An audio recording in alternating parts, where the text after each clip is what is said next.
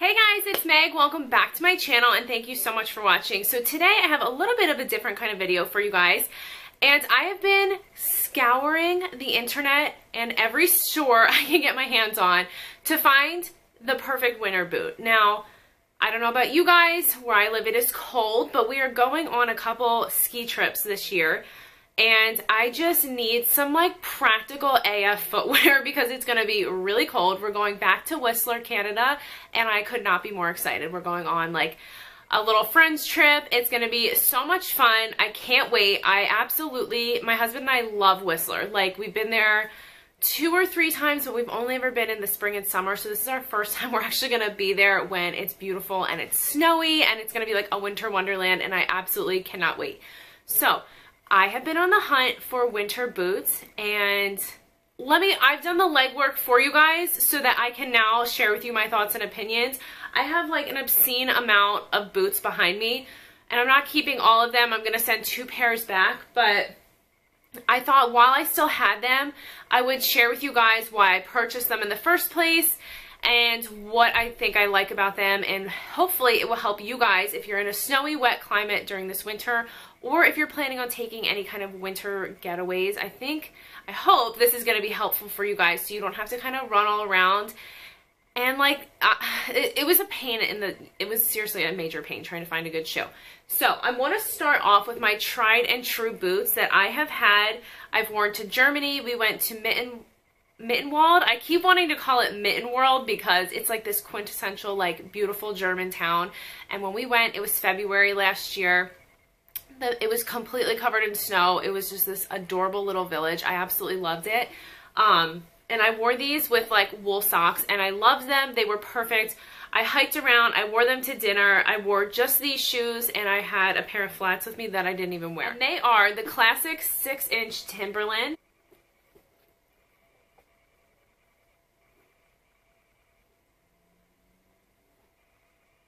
First of all, these boots are a year old and I wore them to death. And in my opinion, these look fantastic. Like, I haven't cleaned them. I haven't done anything with them. They've been in the salt. I've shoveled in them. I've gone tree hunting in these for like a Christmas tree.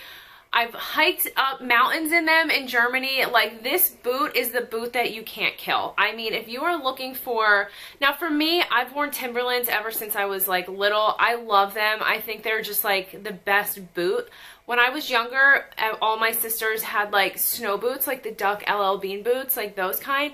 And I just hated them so much. I don't know what it was. Like I refused to wear snow pants and I hated snow boots. You can ask my mom. I would put I would either wear my Timberland boots. I had them in like Smurf blue. I don't know what the hell I was thinking about getting them, but they were literally like Smurf blue. And I would put big wool socks on and put a plastic bag over my foot and put my Tims on because I didn't want to wear snow boots. Um, these are waterproof and with a wool sock, I found that these were cool but functional at the same time. I absolutely love the matte black. I love them so much. I bought them for my daughter last year in purple. I'll try and insert a picture if I can find them. She, she loves them. She also thinks they're just like so comfy and cool. She always wants to wear her snow boots. That's what she calls them.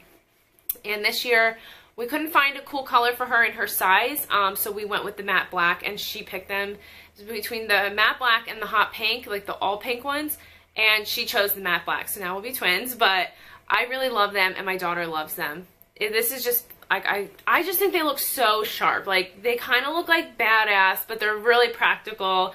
And I love the look of these with like a chunky like cream sock and over skinny jeans. And I think it just is such a functional winter shoe. The tread on the bottom is really great. Anyway, these are a boy size five and a half. I'm a women's seven and a half, like true size. Like I always get a seven and a half. These fit me great. You can save a little bit of cash if you want to go with the boy size, um, or you can hit up an outlet store um, and see if they have your size in the women's. So I would say if you're up to like a size eight and a half in women's, you could probably fit yourself into a kid's, a big kid, five and a half, six, or six and a half if they go up that high. Um, so I would definitely give that a try. I'll link these down below. Love these. They're so good. Okay, so behind me, you're gonna be like, oh, Megan, isn't that another pair of black Timberlands? Why, yes, funny you should mention that. It is. So this is the boot that I ended up with. And, okay, these are the 8 inch. They're taller. These are also fleece lined and they're fully waterproof as well. Okay, so I hope you got a good look at the inside. It's a teddy fleece lining is what I think they call it. This is also waterproof. It has an ortho instep. These are very comfortable. The bottom is still a lug boot style, but the tread is different compared to your classic Timberland boot.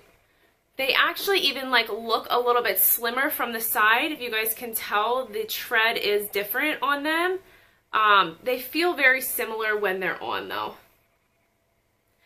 I also don't know if the difference is because these are technically a boy's shoe and this is a women's size seven and a half. I don't know if there's a discrepancy in like the tread they use for men and women's. Personally, I love the classic Timberland tread, so I kind of wish that this tread was on the bottom of this. Um, like I said, I just bought these this year, so I haven't worn them in the snow. I don't know how the traction is. I just like the look of this one better. Not that it matters, you guys, you're walking on it, but just from the side, I kind of think these look cooler. So they're still jet black. They look really good, but they do have a very different look to them, as you guys can see.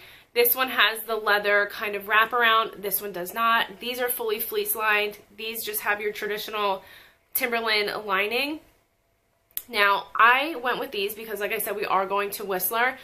I'm going to bring two pairs of shoes. I'm going to bring these and then another pair I'm going to share with you guys. Um, I really wanted something that had a lining in it. I know when we went to the top of the Zugspitze, I think that's what it's called. I don't know, it might I might be pronouncing it wrong. It's like one of the taller mountains in Germany. It was freezing up there, and I know Whistler's gonna be colder than where we were in um, Germany. So I wanted something that was fleece lined or thermal lining, something like that, just to add a little bit extra warmth. I knew I definitely wanted a waterproof boot. I do like how these go up higher because it will, you know, kind of keep more of your leg warm than these will.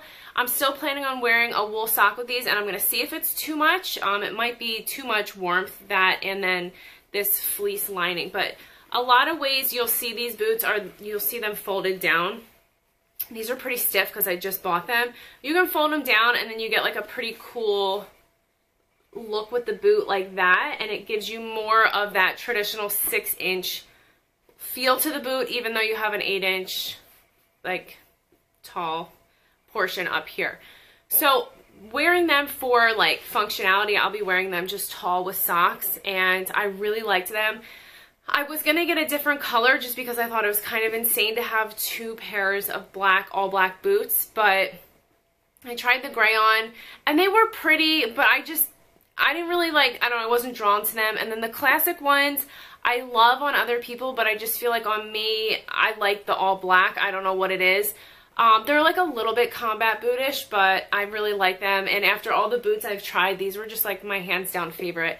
So I got a women's seven and a half. I'm really excited about these. Okay, you guys, so the next pair of boots on my list are these. they're kind of insane looking, but I tried them on and I was like, I have to have these. Like, they just felt good. I felt like they looked really cool on. Like, I don't, I'm not sure how practical they're going to be, but like they're made for the weather. They're made for, they're waterproof. They're fleece lined. I mean, these are like some serious boots, but they're like actually really cute. Like, I, you guys, I don't know. Like when I saw them in the box, I tried them on as a joke with my sister Caitlin. I was like, I gotta try these, these things on. They look ridiculous. And then we were like, wait, do we kind of love these? And I ended up buying them because I was like, they're just like the perfect boot. So they're completely lined. It's a waterproof fleece lined boot. I love these. I think they're going to look so cool with like a thick black sock at the top and jeans. There is a wedge in them, so obviously these are not going to be like your hike up a mountain boot. These are going to be more of like walking through Whistler Village in jeans, going to dinner, and it's a more cool casual vibe, but like you're still so protected from the elements. So I really love these. I think they're really cool. I got these on sale at Nordstrom Rack. They do have a bunch of different colors. They come in solid colors as well. I will link them down below for you guys if you want to take a look. I just think they're like a really cool shoe. I mean, a lot of people don't like a wedge sneaker or a wedge boot, And I never really thought I was like into the wedge boot, but then I tried them on and I was like, yes, I love these and I have to have them. So yeah, I'll let you guys know how these work out, but I really like these. This is supposed to be a pretty good brand for like winter boots and stuff like that. So I'm excited about those, and I think they're going to look great with like black jeans and a chunky sweater. Okay, the next boot I picked up is also by Timberland. I just, like I said, I've always loved Timberland. I've worn their stuff for years, and the quality is really good. So now when I saw these on Timberland's website, I was like, yes, these are the boots I've been waiting for. I need them. They look so good. They're going to be fleece lined, like they're Sherpa, whatever. I, I think they're Sherpa. And then I got them, and I was like, what the heck? They're not fully lined. So, and the box does not say they're waterproof either. They're like a really pretty soft, like suede leather material. They're gorgeous, and I feel like it's the perfect, like, lumberjack chic boot like this with like a buffalo check shirt and like a really big beanie and a scarf. Like how cute, right? And skinny jeans. But I just don't think that they're actually functional for what I needed for this trip. Um, I know I would wear them all throughout the winter in Pennsylvania, but I was nervous that they didn't say that they were waterproof. And when I got them out of the box, I realized that the lining stops right here. So I realized the lining stops right here. You're really only getting that Sherpa around the ankle and just the very top of the tongue of the boot. You guys can see it stops right here. So yeah, my ankle would be like really fiery warm, but I just felt like the tip of my toe, which is the first thing that gets cold on me, is not going to be as warm. It's a very slim profile boot compared to the Timberland Classics. You guys can see that. Like, it's just a narrower toe box. And I honestly just didn't like how they weren't as chunky on the bottom as the But for me, it didn't feel as substantial as the classic Tims. And I just, I would keep them if they didn't cost $200 and I just spent like a million dollars on all these other boots.